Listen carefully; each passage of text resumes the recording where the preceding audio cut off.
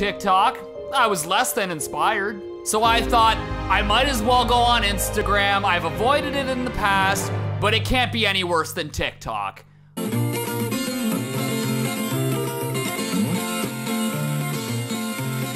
fingers literally look like they're breakdancing. I can do that.